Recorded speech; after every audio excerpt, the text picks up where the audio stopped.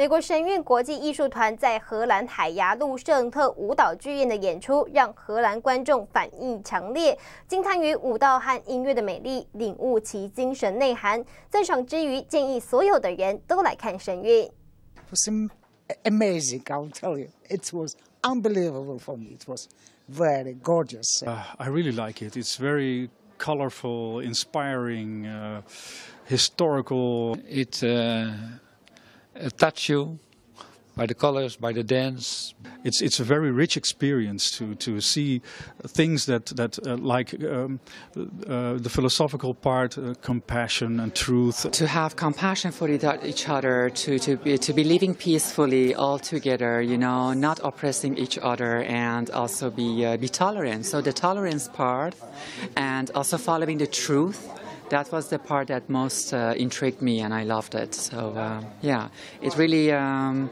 inspired me to be a better person. Spiritual dimension, because even in the lyrics from the people who were singing, it was also the same. So I was I quite appreciated that. Yes.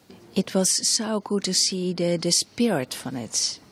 That was for me the most important thing: the spirit, the divine, the background, everything. It was so real all the instruments uh, speak the same language, this language of, of, of love, of, of equality, of harmony, and of uh, peace. I think everybody should come and see this. You have to see it once in your life or more.